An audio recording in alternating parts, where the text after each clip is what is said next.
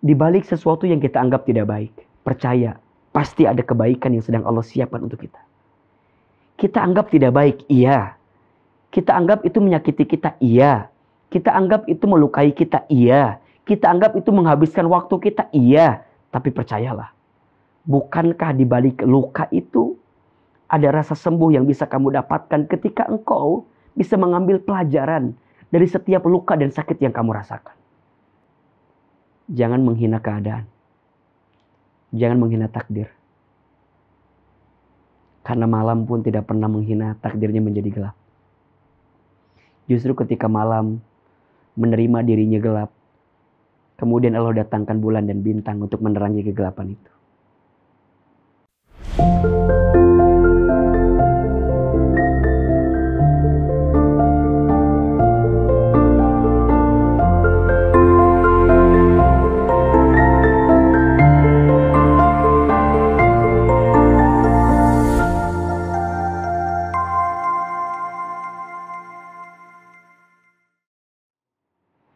Subhanallah Walhamdulillah Wala ilaha illallah Wallahu akbar Subhanallah Walhamdulillah ولا إله إلا الله والله أكبر سبحان الله Maha suci Allah Walhamdulillah Segala puji bagi Allah Wala ilaha illallah Tiada Tuhan selain Allah. Wallahu akbar. Allah Maha Besar. Bismillahirrahmanirrahim. Assalamualaikum warahmatullahi wabarakatuh. Alhamdulillahirabbil alamin. Alhamdulillahilladzi anzala as-sakinata fi qulubil mu'minin liyazdadu imanan ma'a imanihim. Asyhadu an la ilaha illallah wa asyhadu anna Muhammadar Rasulullah. Allahumma salli ala sayyidina Muhammadin sallallahu alaihi wasallam wa ala alihi wa sahbihi ajmain. Allahumma inna nas'aluka ilman nafi'an wa rizqan tayyiban wa amalan mutaqabbala. Amin ya rabbal alamin. Amma ba'du. Teman-teman yang dirahmati Allah, senang sekali kita semua bisa lagi berjumpa di channel YouTube Ahilman Fauzi. Mudah-mudahan semua yang menyaksikan kali ini dalam keadaan sehat walafiat, makin dekat dengan Allah, makin taat kepada Allah, makin disayang oleh Allah. Dan setiap langkah kita senantiasa mendapatkan ridho, berkah, dan rahmat dari Allah. Dan izin kami mendoakan jika ada yang sedang sakit, semoga Allah berikan kesembuhan. Amin. Ya Rabbal Alamin. Kali ini kita kembali bertemu dalam program Tanya Hati. Sebuah program yang eksklusif spesial kita hadirkan di channel YouTube Ahilman Fauzi. Di program ini, setiap episodenya AA akan membacakan curhatan, pertanyaan dari teman-teman yang sudah dikirim melalui sosial media kami, baik di Instagram, di TikTok, ataupun di channel YouTube kami, Ahilman Fauzi Masya Allah, terima kasih banyak. Teman-teman sudah mengirimkan berbagai curhatannya, berbagai pertanyaannya dan Ahilman pelan-pelan membaca semua pertanyaan itu, semua curhatan itu. Semoga dengan program ini, Tanya Hati, bisa menjadi program yang menguatkan hati teman-teman, melembutkan hati, menenangkan jiwa kita, dan kita bisa lebih yakin menjalani hari-hari ke depan dengan penuh kebaikan. Kali ini saya akan membaca pertanyaan dari Lampung. Izin saya bacakan. Assalamualaikum. Waalaikumsalam warahmatullahi wabarakatuh.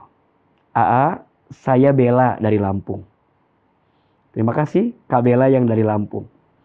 Saat ini saya masih sendiri dan ingin segera menikah dan mendapatkan pasangan, terutama pasangan yang baik dan sayang kepada saya. Tapi selama ini saya sering dipertemukan dengan laki-laki yang tidak baik. Misalnya, ibadahnya ternyata banyak kurangnya. Pernah juga bertemu dengan laki-laki yang kasar. Dan terakhir, bertemu dengan seseorang yang tidak setia. Sampai saya diselingkuhin. Kira-kira salah saya apa ya? Padahal dalam doa, saya selalu meminta dipertemukan dengan laki-laki yang baik dan soleh. Terima kasih Kabela yang sudah mengirimkan curhatan dan pertanyaannya. Saya yakin juga ini pertanyaan mewakili teman-teman yang lain yang dalam keadaan yang sama, dalam kondisi yang sama, masih sendiri, sedang menanti jodoh terbaik dalam hidupnya.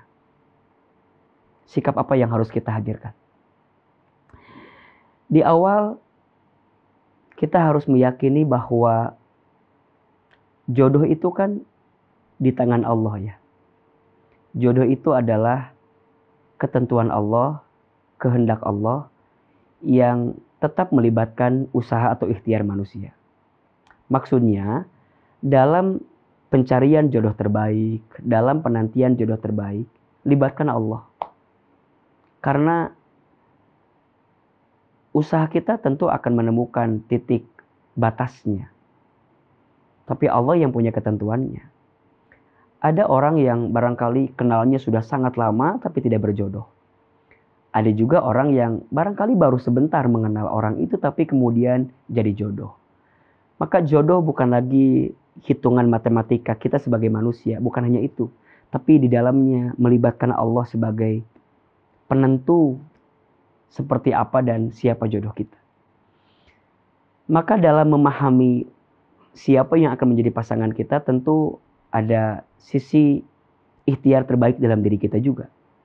Maka jangan sibuk mencari yang terbaik, tapi sibuklah menjadi yang terbaik.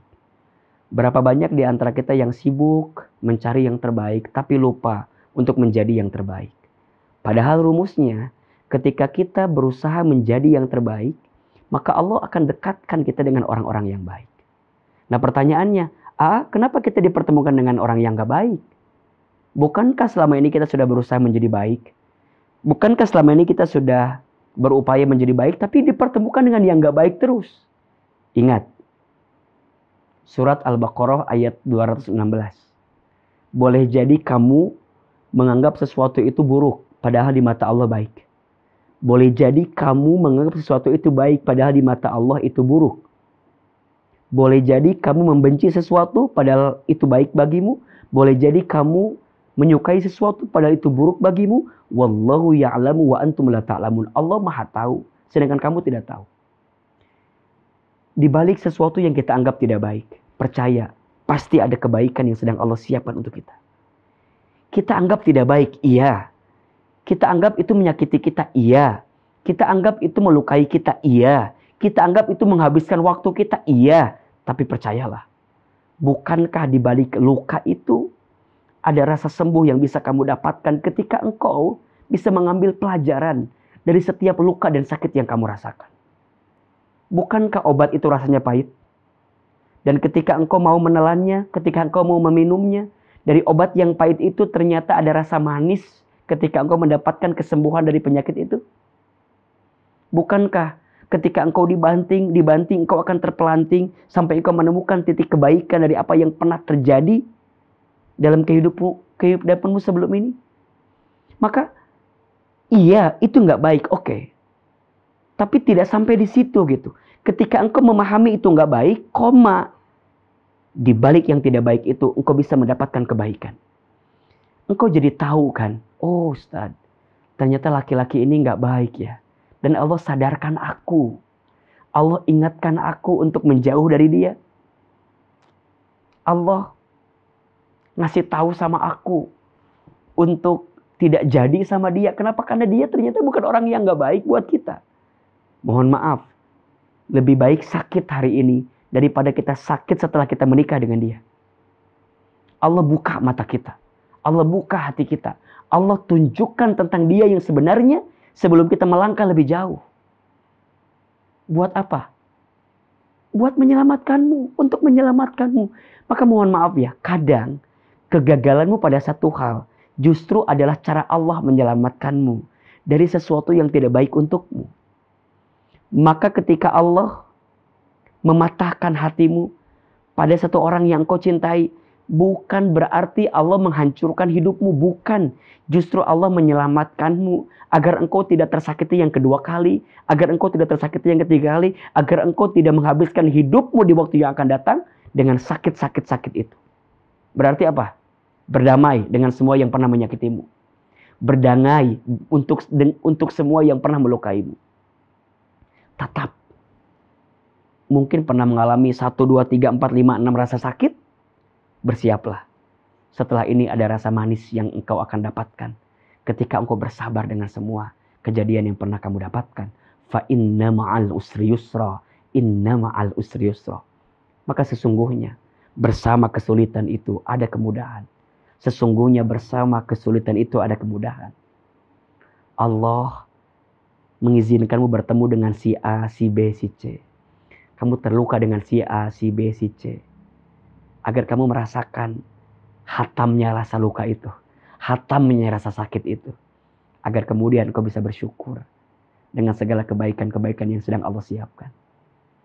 Rasanya nggak mungkin kita bisa bisa menemukan kebaikan kalau kita tidak pernah menemukan rasa yang menyakitkan hati kita. Maka percayalah di balik semua yang pernah terjadi itu akan ada banyak beribu kebaikan, berjuta kebaikan yang Allah siapkan. Jangan menghina keadaan. Jangan menghina takdir. Karena malam pun tidak pernah menghina takdirnya menjadi gelap. Justru ketika malam menerima dirinya gelap, kemudian Allah datangkan bulan dan bintang untuk menerangi kegelapan itu. Jangan menghina keadaan. Karena daun pun tidak pernah marah kepada angin yang membuat ia terjatuh dari ranting pohonnya. Justru ketika dia menerima Allah tumbuhkan daun-daun yang lain yang lebih lebat, lebih besar. Karena apa? Karena sikap ridhonya. Maka belajarlah ridho dengan semua yang pernah terjadi. Faman rodiya falahur ridho. Waman sahito falahu suhto. Barang siapa yang ridho dengan ketentuan Allah, maka Allah ridho kepadanya. Dan barang siapa yang membenci ketentuan Allah, maka Allah pun membenci kepadanya kita tidak akan bisa kembali kepada apa yang pernah sakit itu kan trauma terus bertemu dengan orang yang salah terus ya maka mulai mulai hari ini pilih-pilih dalam melangkah kita jadi tahu kan karakter orang. Siapa yang harus kita seriuskan siapa yang harus biasa aja kita tanggapi gitu. Makanya kan pacaran itu sebenarnya kalau pacaran itu tidak punya visi untuk menikah, kalau pacaran itu tidak punya tujuan untuk melangkah ke arah yang lebih baik gitu ya untuk menikah, sebenarnya ya pacaran itu hanya menghabiskan waktu untuk disakiti saja sih. Makanya setelah kita kenal sama orang, dekat sama orang, kita harus punya visi, punya tujuan apa? Dekat sama dia tuh emang mau menikah gitu. Ada tujuan bersama, ingin menyempurnakan setengah agama. Jadi bukan hanya sekedar deket, bukan ya Untukmu yang pernah terluka berkali-kali, masa iya sih mau membiarkan hati terluka lagi gitu? Kan harusnya jadi pelajaran gitu. Untuk tidak mudah membuka hati kepada orang yang belum tentu jadi milik kita gitu. Maka jangan mudah menyerahkan hati kepada orang yang hanya mengirimkanmu DM Assalamualaikum ukti gitu ya jangan dong. Jangan juga membuka hati dan mudah kepada orang yang bawa nasi goreng, martabak telur, martabak manis. Dan kamu menyerahkan sepenuhnya buat dia hidupmu terlalu mudah dan terlalu murah dirimu jika dihabiskan dengan cara seperti itu. Mulai hari ini, terus mendekat taat kepada Allah. Perbaiki diri, pantaskan diri. Ketika engkau memperbaiki diri, maka Allah akan memperbaiki semua keadaan hidupmu. Ketika engkau memantaskan diri, maka Allah akan pantaskan dirimu dengan segala kebaikan-kebaikan yang Allah datangkan untuk dirimu. Ingat, Allah itu memberi kepada seorang hamba sesuai kebutuhan dan kepantasan. Maka dua ukuran ini akan menjadi patokan dalam hidup kita. Satu kebutuhan, dua kepantasan. Maka naikin levelnya apakah kita butuh orang seperti apa maka minta sama Allah. Orang yang seperti itu. Dan yang kedua kepantasannya. Minta sama Allah agar kita bisa dipantaskan sampai ketemu orang yang pantas buat kita. Minta yang pas minta yang cukup. Minta orang yang saat ditinggal nggak bikin kita gelisah saat dia bersama dengan kita membuat kita bisa lebih nyaman dengan dirinya.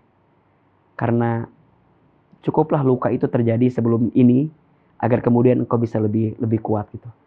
Menjalani hari-hari dengan luka-luka yang akan datang juga gitu. Karena selama hidup kita nggak akan bisa lepas dari yang namanya ujian.